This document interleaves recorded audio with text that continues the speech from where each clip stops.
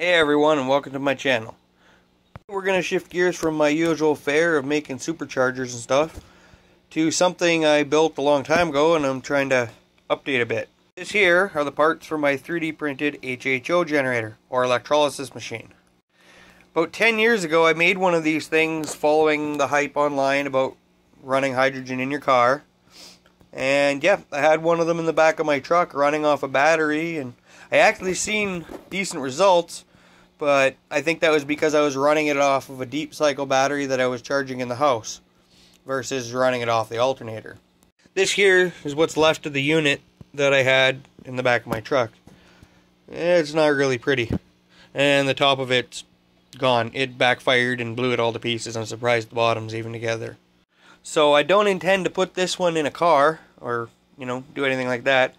I kind of want to see if I can make a little soldering torch out of this in the long run. But first, I got to make the generator. So for anyone who doesn't know how an electrolysis machine works, it's pretty simple. I got a bunch of plates here. take these two.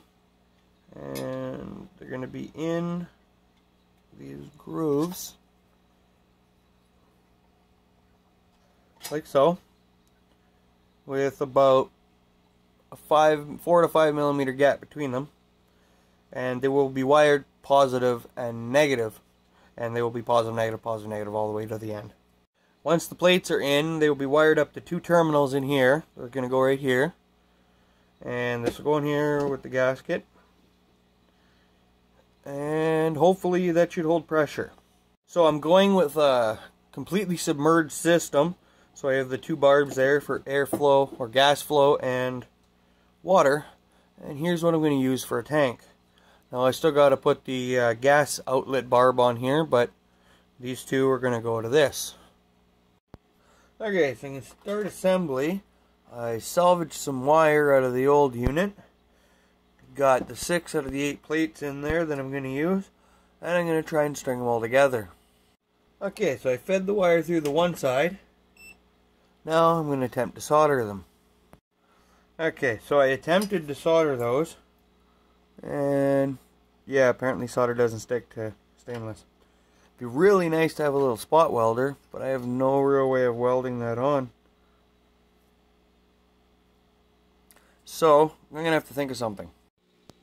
As you can see, I know this isn't the best solution, but I went with crimp-on terminals. It should hold up for what I'm going to do with this, though. Alright, after much sticking around, I got everything wired up. Now it's time to put the terminals in here and connect them that way. Alright, we're together.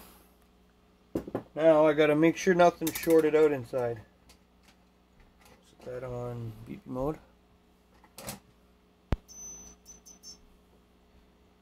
Come on. Damn it.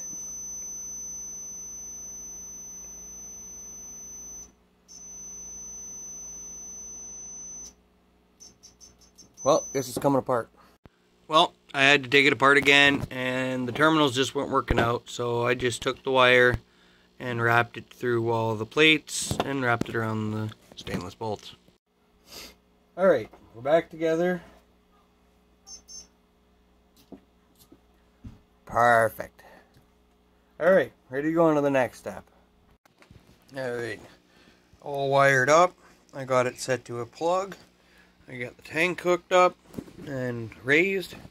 All I got to do is fill it up with water and plug it in, see what happens. Alright, so I got my water, my amp meter, and tank, got my elect electrolyte in the water, and the power supply is on and ready to go. So there's no water in there, no power is flowing. And as I pour the water in, it, the amperage should increase.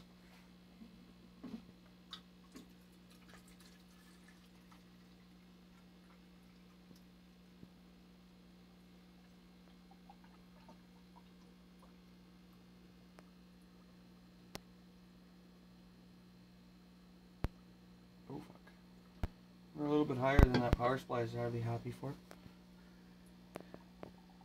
I'll have to dilute that. A little bit too much electrolyte, but...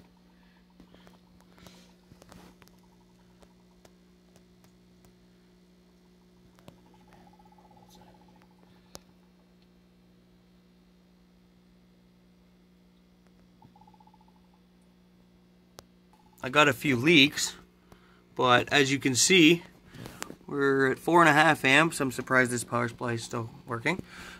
Um, and you can see the gas coming out. That is hydrogen and oxygen.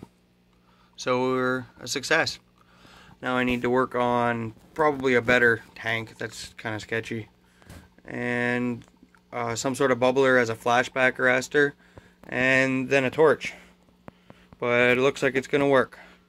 Well, that's about it for now. If you like this, please click like and subscribe. And I'll be back with more later.